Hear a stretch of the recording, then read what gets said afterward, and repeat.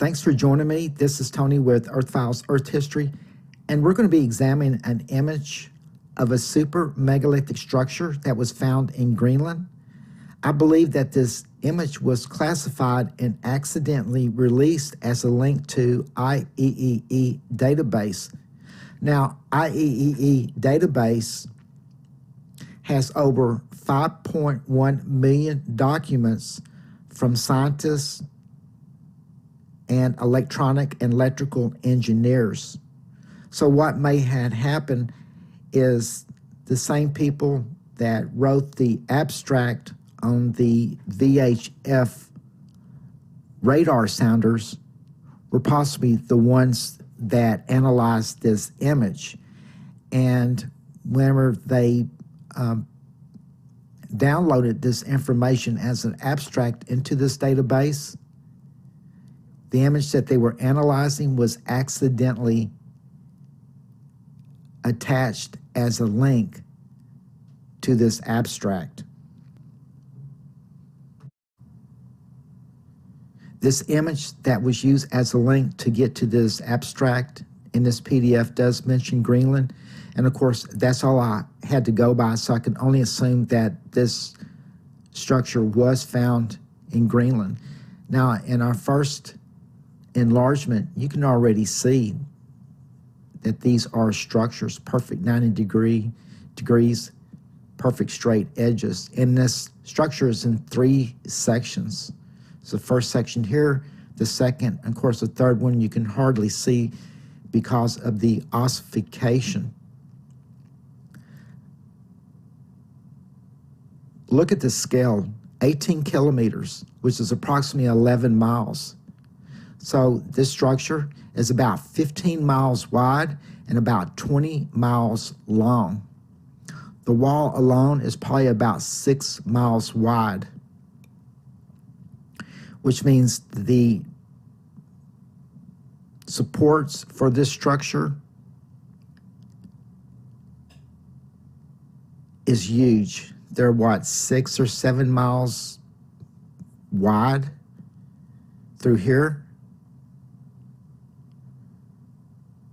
You can see where they were tied together by these center supports. And then, of course, over time, they deteriorated and separated. Then there was something attached to this support, or whatever this was, is cone shaped. And when it fell, there was something attached to it and fell over the wall and down into this other section.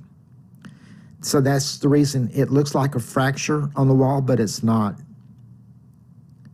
Now, the reason that I believe that this was classified is you can see where they went in and analyzed it. You see this light orangey red line here that they circle, and then there's something that they found they circled here.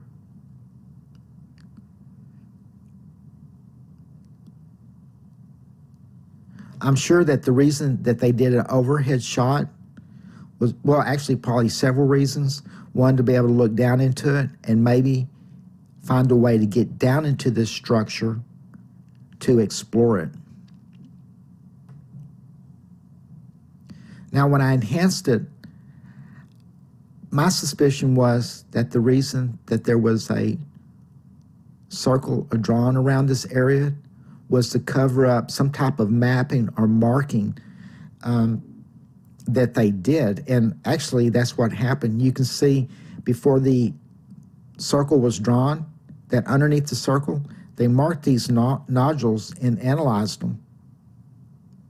There was just something about this particular area that they were um, completely interested in.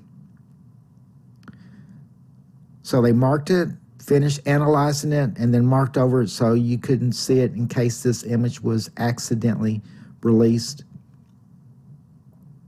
And then here it is. The pinkish part is where they mapped it, and then they drew this line over it.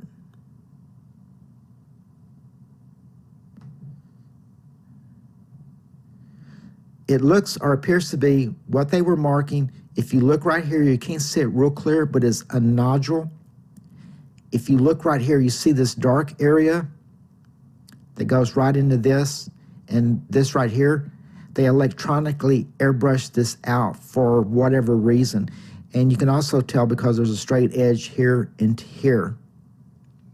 So whatever was attached to whatever this was, I guess the structure, when it collapsed and fell into these openings, they had these nodules on it.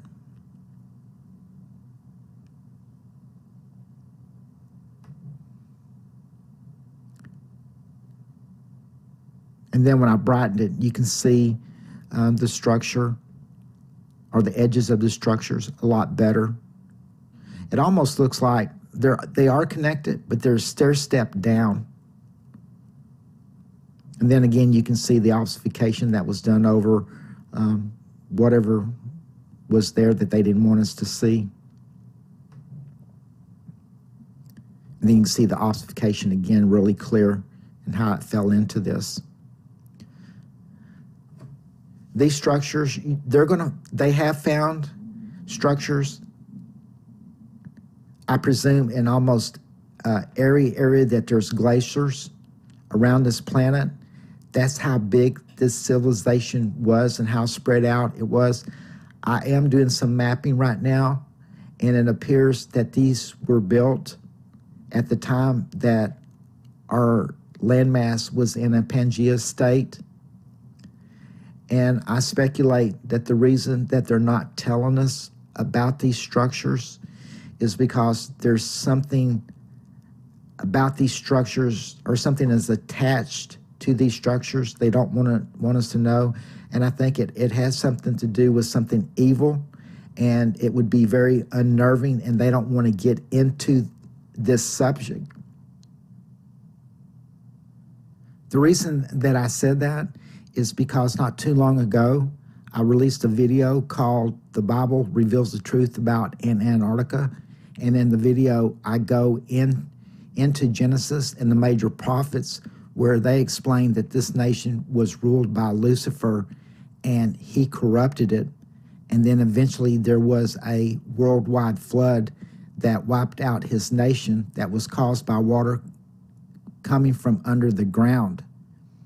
So there's no telling what's in these structures.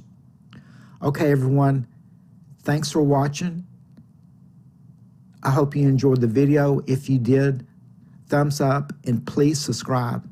This is Tony with Earth Files Earth History signing out.